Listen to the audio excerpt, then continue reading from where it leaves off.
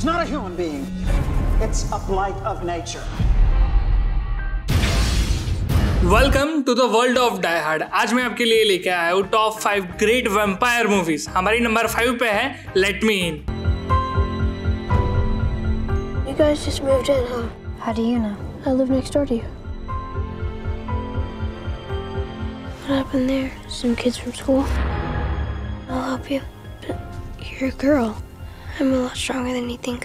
Let me in एक romantic horror film है, जिसके राइटर और डायरेक्टर है मैट रीव्स ये मूवी एक रीमेक है let me the right one in film के स्टार कास्ट है Cody Smith Corey Grace and many more film का प्लॉट फॉलो करता है 12 साल के बच्चे को, जिसको स्कूल के बच्चे परेशान करते रहते हैं। उसके बाद वो एक डेवलप करता है एक romantic relationship with vampire girl during the early 1980s देखा? लड़के को वेम्पायर गर्ल मिल गई और मुझे एक मरी हुई लड़की भी नहीं मिल रही डेट करने के लिए। Let me in premiere at Toronto international film festival on September 2010 hello what are you really I need blood to live hey there you okay हमारी नेक्स्ट फ़िल्म है डार्क शेडोज डार्क शेडोज एक dark fantasy film है जो कि based है television soap opera dark shadow के नाम पर। Dark shadows directed by Tim Burton film के स्टार कास्ट है Johnny Depp Michael Helena and many more अब देखो कहानी को फॉलो करे तो हमारे डायरेक्टर भैया ने पूरी फ़िल्म को जेलेसी के ऊपर बना दिया। हमारे हीरो को एक वीच ने जेलेसी की वजह से एक कर्स देती है जो की all he loves will die उसके बाद कहानी आगे बढ़ती इस फ़िल्म को बहुत ही लिमिटेड रिलीज़ मिली थी ऑन मे 2012 को. I should have destroyed you. What if I made you love me? With what a spell. With this?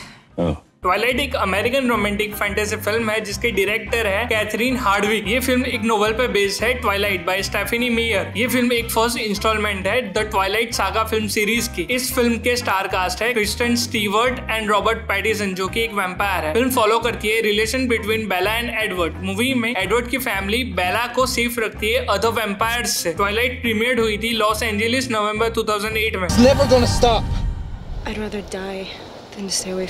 हमारी नेक्स्ट फ़िल्म है Dracula the untold Dracula the untold एक अमेरिकन फैंटेसी हॉरर फ़िल्म है जिसके director है Gary शोर ये एक original story है टिटिक्यूलर कैरेक्टर की। इन्होंने ब्राम स्टॉक 1897 नोवेल की स्टोरी लाइन यूज़ नहीं की है। ये एक अडेप्टेशन फ़िल्म है ड्रैक्यूला की। कहानी की बात करें तो Luke Evans portrait the title character with Sarah Golden and Dominic Cooper ये फ़िल्म रिलीज़ हुई थी यूनिवर्सल पिक्चर्स के द्वारा अक्टूबर 2014 में। ड्रैक्यूला द अनटोल्ड फ़िल्म ने 270 मिलियन डॉलर अर्न किए थे वर्ल्ड वाइड और इस फ़िल्म को मिक्स्ड रिव्यूज़ मिले थे from the critics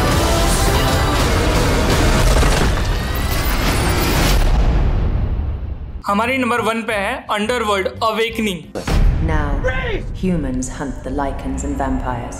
Underworld Awakening एक अमेरिकन एक्शन हॉरर फ़िल्म है, जिसके डायरेक्टर है मैंस मार्ड लिंड ये मूवी बेस्ड है वाइसमैन एंड हेलविन पर। The film was release by Sony Pictures in the United States on जनवरी 2020 इस फ़िल्म को जनरली नेगेटिव रिव्यूज़ मिले थे from the critics but it grossed 160 million dollar world wide again it's 70 million budget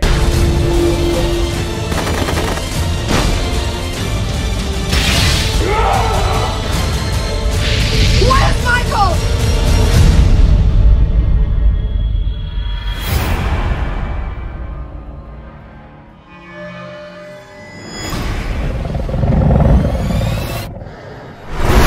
Thanks for watching and tell me which is your favorite movie. And I know that you have many suggestions, so tell me in the comment section.